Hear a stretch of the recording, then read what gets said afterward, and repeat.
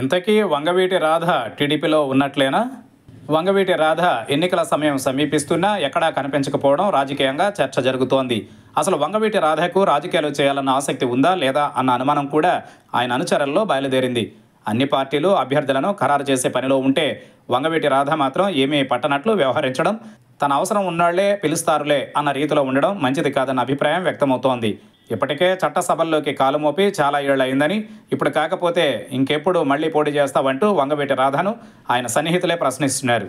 నిజమే ఏపీలో రాజకీయాలు హీట్ ఎక్కుతున్నా వంగవీటి రాధ మాత్రం కూల్గానే ఉన్నారు. పేరుకు ఆయన టీడీపీలో ఉన్నప్పటికీ ఆయన ఉన్నట్లుగానే లేరు. ఆయన పార్టీని పట్టించుకోవడం లేదా లేకుంటే పార్టీ ఆయనను పట్టించుకోవడం లేదా అన్నది కూడా చర్చే. ఎందుకంటే టీడీపీ నేతలు కూడా ఎవరు వంగవీటి రాధను కలిసేందుకు ప్రయత్నించకపోవడాన్ని ఉదాహరిస్తున్నారు. అలాగే వంగవీటి రాధ కూడా టీడీపీ నాయకత్వం వెంట పడి పరిగెత్తకపోవడం కూడా అదే రకమైన అనుమానం కలుగుతోంది. సెంట్రల్ నియోజకవర్గం నుంచి పోటీ చేయాలన్న డిమాండ్ ఉన్నా అక్కడ బోండా ఉమ పాతుకుపోయి ఉండడంతో అక్కడ టీడీపీలో ప్లేస్ లేదని తెలుస్తోంది. మరి వంగవీటి రాధ ఎక్కడి నుంచి పోటీ చేస్తారన్నది కూడా అందరికీ అనుమానంగానే ఉంది. మరోవైపు పార్టీ మారతారన్న ఊహా గానాలు కూడా పెద్ద ఎత్తున జరుగుతున్నాయి. ఆయనను వైసీపీ ఆహ్వానిస్తోందని మచిలీపట్నం ఎంపీగా పోటీ చేయాలని కోరుతుందని గత కొంతకాలం నుంచి ప్రచారం జరుగుతోంది. అయితే ఇందులో నిజానిజాలు మాత్రం బయటకు రాలేదు.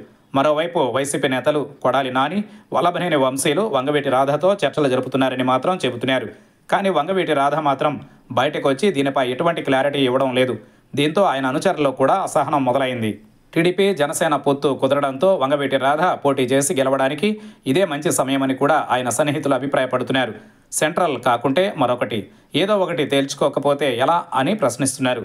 వంగవీటి రంగ కుమారుడిగా ఆయనకున్న ప్రత్యేక బలాన్ని కూడా చూపించలేక బలహీనంగా మారిపోతున్నారని పార్టీ అగ్రనేతలు కూడా పట్టించుకోకుండా తన చేజేతుల వంగవీటి రాధ వ్యవహారం ఉందన్న కామెంట్స్ వినపడుతున్నాయి.